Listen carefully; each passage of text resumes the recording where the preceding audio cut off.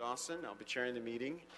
I'm joined by our Vice Chair, Mr. Mitch Englander, and members uh, Gilbert Cedillo and Curren Price.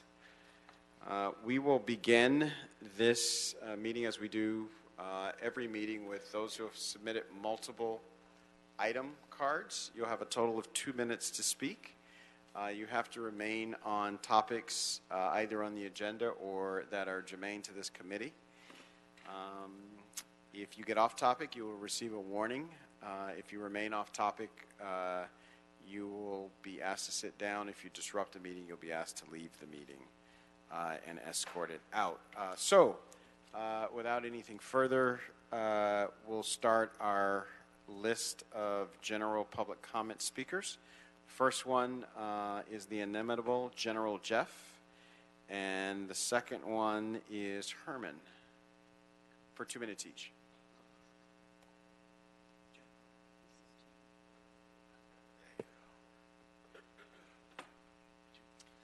Good afternoon, Commissioners. My name is General Jeff. I am a Skid Row community leader, proud Skid Row resident, and I'm here to you today um, because I'm coming back before this committee um, now that the uh, committees have been reassigned. Us in Skid Row, while we're represented by CD14, we have a very uh, specific parcel that is of great interest to us. It's called Firehouse 23, also known as the Ghostbusters Firehouse, which currently there are plans based on Prop K to uh, create an uh, art center for kids. That was on the ballot in 1996. Um, there are no kids in Skid Row like that right now, and so there's a whole lot of adult need in terms of specifically for as, as it pertains to the arts. And so what we're doing is there's a meeting in Skid Row next week at the James Wood Community Center, and we of course we invite you all to come. But um, the thing is, is we the community of Skid Row are, are going to show up, and we propose. First of all, we oppose the current project, and we propose that the efforts be taken by this committee and the rest of the city of Los Angeles to return this issue back to the ballot to let the voters uh, repurpose this and vote on this so this could be an art center for adult usage.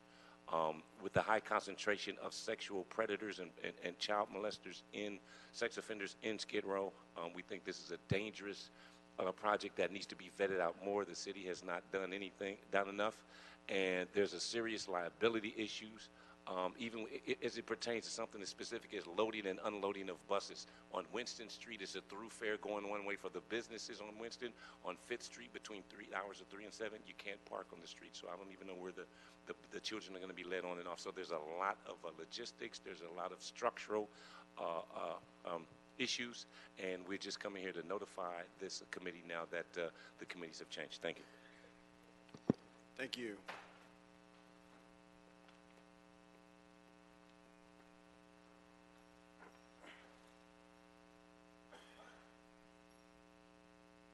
We, the people of this state, California, do not yield no sovereignty to which these agencies serve.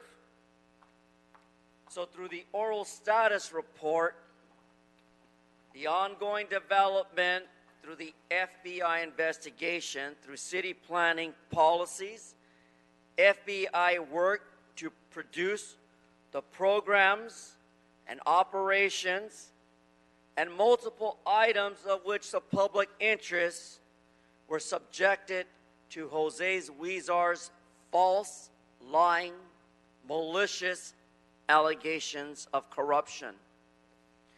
In turn, on item seven, nothing better for public convenience and necessity that a drunk politician by the name of Jose Huizar has no right to decide what is good for the public to know. For I am the chapter of 54950.5. I am the legislative word to this city that we will not tolerate corruption, abuse, and fraud by any elected official when determining whether or not convenience and necessity on off-site sales of alcohol beverages is for our good and our interest. Why is Jose Huizar actively participating in a bar? Who gave him the permit to start a business. So my point is, fuck Jose Huizar, fuck his fat wife, and I'm glad to see that Jose Huizar is no longer a part of Plum. Fuck you, 42 USC 1983. Antonio Ramirez, Wayne, David Nance.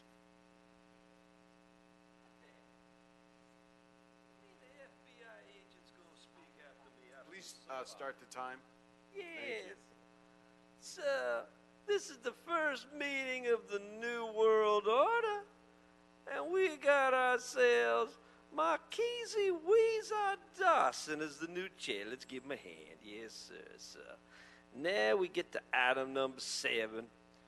I am very conflicted about item number seven. On the one hand, I'm a pro business fool, but on the other hand, I smell corruption. I smell corruption on number seven because Jose Weezer, that drunk piece of shit, always goddamn approving them on site alcohol permits. And Mr. Cedillo, aka Mr. Cedillo, aka Gil Nance, definitely wants to take another look at this because there may be an overextended, what is it called? Densification. Densification of too many goddamn liquor licenses in the downtown 14th district. I just think you should take that back under the new administration. Now, if this were the old administration, I'd be going like item number one, fuck you, et cetera, et cetera, et cetera. But now we're going to talk substance over fraud. So now we got item number three, that is over in CD number six, that little tiny Nury Martinez trying to build this big, big goddamn housing project. So we're going to support that because that place looked like shit. Now we got number four. Now we're going to support number four, right? Oh, absolutely. Yeah, Jose Weezer tried to stop number four, and he was giving prostitutes and drugs as a payoff. So, Iruma. So, on behalf of the FBI, uh, the head of David Grove Nance, we support it, and finally, fuck Jose Weezer. Send his ass to Guantanamo Bay. Yes. Antonio Ramirez, David Nance. Going once, going twice. It appears that neither of these parties are in the room, so we will move on into our agenda. We will begin our agenda by noting and filing item number one. Um, Without objection, uh, we will move eh, to item number four. Could we read number item, item number four into the record? Sure. Um, Item four, Councilman, this is a report from the Cultural Heritage Commission relative to the inclusion of Times Mirror Square as a historic cultural monument. Okay, so we've got some speaker cards on this, but it's our expectation that we'll continue this matter uh, to the meeting on the 27th of uh, November. If you want to speak, you still can. Uh, I've got Mr. Nagano or TK Nagano and Mickey Jackson. If either of you want to speak today, you can. Uh, If not, uh, we will move and hear that agenda item on next week, Thursday. Next. uh, Okay, Tuesday. uh, my name is Pardon me? Thomas K. Next- Nagano. next I'm speaking Tuesday? on I'm sorry, item next number week Tuesday. four. My, I'm sorry, my bad. Yes. Sorry, Mr. Takano. I support Richard Shea's nomination of the Los Angeles Times Mirror Square as a city landmark. The history of Los Angeles was made within those walls. As reference, I recommend reading Dennis McDougal's book, Privileged Son Otis Chandler's Rise and Fall of the Los Angeles Times Dynasty, and Bill Boyarsky's Inventing L.A., The Chandlers and Their Times. There was a time a deal in Los Angeles always had the hand of Harry Chandler, referenced as owner of the largest real estate empire in the United States. From the Dominguez Air meet of 1910 to the 1932 Olympics and the making of Hollywood, the Los Angeles Times and the Chandler family had their prestige and wealth in the founding and creation. The Los Angeles Times Mirror Square buildings represents decades of Los Angeles history Thank you. and deserves preservation. Thank you so much. Uh, All right, without anything further, we'll uh, continue that uh, matter to next week, Tuesday, uh, and move to item number three, which we also expect to continue Yes. um, until next week, Tuesday. Uh, Item three, Councilman, this is a vesting zone change ordinance along with a modification to the CDO for a mixed-use project with 10 very low-income units in CD6. Thank you so much. So we have no speakers on uh, the queue for number three. We'll move uh, to item number six, which we also expect to continue until January 22nd, 2019. Yes, uh, this is an appeal, Councilman. It's an environmental appeal relative to a mixed-use project with 422 residential units located in CD1. Thank you. Without objection, that item will be continued. There are no uh, speakers on the queue. Uh, s- uh, Next, we'll consider uh, items number, yes, ma'am. Uh, City Attorney has a question. Terry Kaufman, Macias City Attorney's Office. The written communication from the applicant on number six said he agreed to continue one week. All right? So I'm, if uh, you, if you, if, you- I don't know if the applicant is here. If the applicant is here, uh, and the applicant is not here, I guess. Is said Yes? applicant Oh, present? Okay, then if he could agree to the um, continuance um, on the record to the 22nd, and then uh, put that in writing and give it to the clerk. Can you make such an agreement, sir?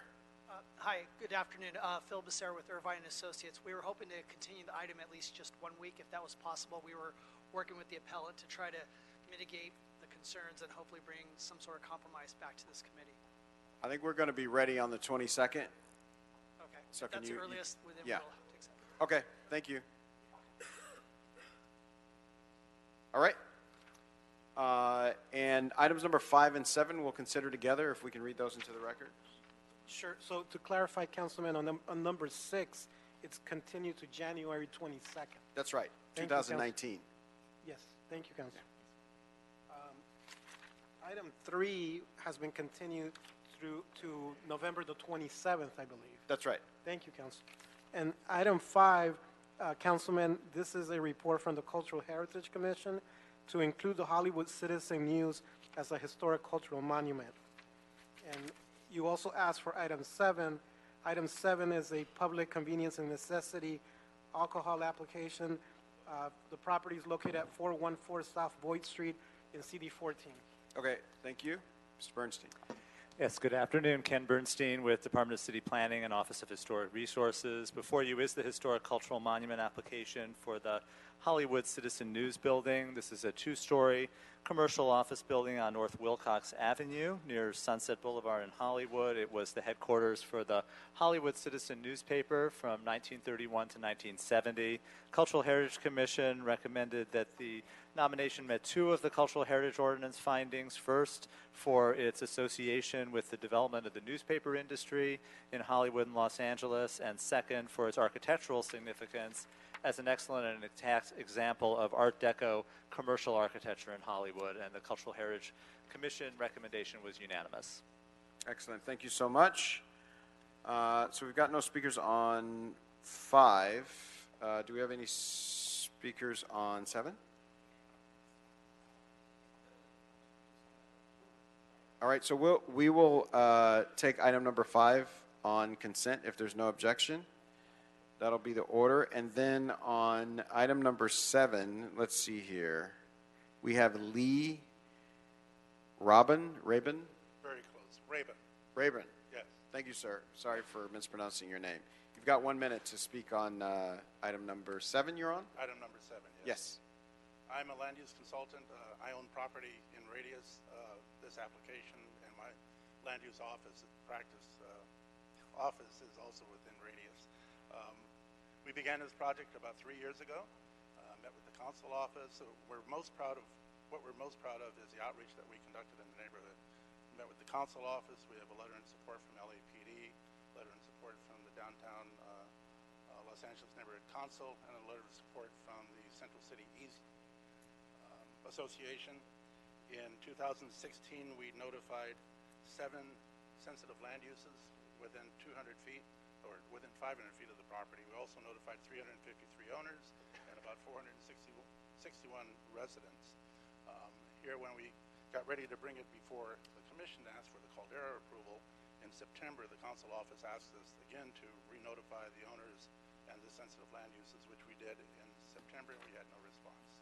I know you have all the particulars and all the statistics on the size and how the, the unit will operate.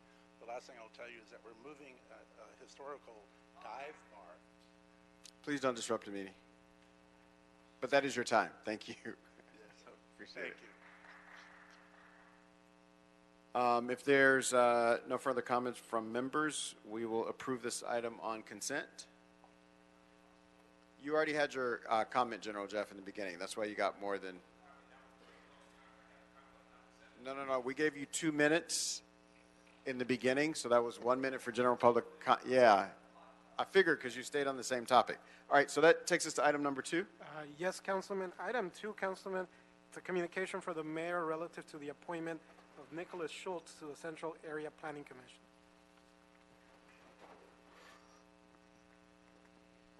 So, um, uh, Mr. Schultz, thank you so much for being here, and thank you for making yourself available to serve the great city of uh, Angels. Uh, if you can just take a second to tell us a little bit about yourself and what interests you in serving and, and uh, what you hope to accomplish. Absolutely. Um, and good afternoon, honorable council members. My name is Nick Schultz. I work as an attorney for the state of California. Uh, I'm currently a member of the Los Feliz Neighborhood Council, and that's really what got my interest in continuing, maybe expanding upon my service to the city of Los Angeles. Um, what motivated me to run for neighborhood council in the first place uh, was the fact that I, like many of my friends, am a renter. I'm concerned about uh, the affordable housing crisis that we have, and I believe that with my legal background and my connections throughout the central area, that I can be a voice uh, for those uh, that live here and work here, and I can help make sure that we have a balanced approach to growth. The only thing I'll note is that I live in the central area in Los Feliz. I work right down here downtown at the Ronald Reagan State Building, so I very much have a vested interest in uh, seeing how this area develops in the next few years. I'm happy to answer any other questions that you have, and thank you all for your time and consideration. Thank you so much. Uh, questions, comments, members? Mr. Cedillo? Excellent. All right, well, uh, there it is. It's unanimous. Look forward to seeing you at City Council. Thank you very Thank much. Thank you so much. All right, uh, I believe that clears the desk, but I've got, uh, is that correct, that it clears the desk? Yes, Councilman, just general public comment. Okay, I've got Antonio Ramirez, who I think we missed you, Ms. Ramirez, because you were not in the room, so we want to give you a couple of minutes to speak, and then uh, General Jeff uh, will give you a minute after Ms. Ramirez to speak um, Thank on you the very matter much. that, that uh, you overlooked. Thank yes, you very much. Yes, ma'am. Ladies and gentlemen, I hope that one day in this administration we can come back and build and develop beautiful neighborhoods that is that are safe, secure, protected with privacy. That's what I want. So all good law-abiding citizens can live freely, healthy, happy and full of vibrancy. That's what I want. That's what I fight so hard. I want the drugs and the gangs to stop. I want the drugs and the gangs to stop. And this mayor has done a poor and shameful um, way of, of handling. There is no public safety. We've got to clear the wreckage before we can actually build on and, and create these beautiful neighborhoods. Are you, any of you, innovative? Are any of you with a brain function that can implement this? Can any of you do it? Because I sure as hell would. Uh, Give me a bazooka and I'd do it. I'd create those damn good neighborhoods. You know, we need somebody with balls to go out there and start a, a, a, a, a network of greatness and build great, safe neighborhoods for the future children. Let's leave them a wonderful um, future. I had a beautiful childhood, even in Mexico. Beautiful, free, and full of love. I want that for the future children. That's what I want. And um, again, thank you for Donald Trump and, um, and, and America. I want to I want to wish all of these beautiful people who have done so much for America and our military veterans and our pilots and our aviators. I want to wish them the most happiest, healthy, joyous, safe and free Thanksgiving. May they have the best Thanksgiving that they've ever, they've never had in their lives. I just want to shower them with kisses and hugs and say thank you to my pilots and military because you've given me hope even when I'm down in despair. I see you flying above and I thank you because I just adore watching you. You represent everything that I love and I thank you. I thank America and I thank Donald Trump. I am so grateful to live in America and be homeless. I'm grateful. Thank you to all and God bless America. Thank you.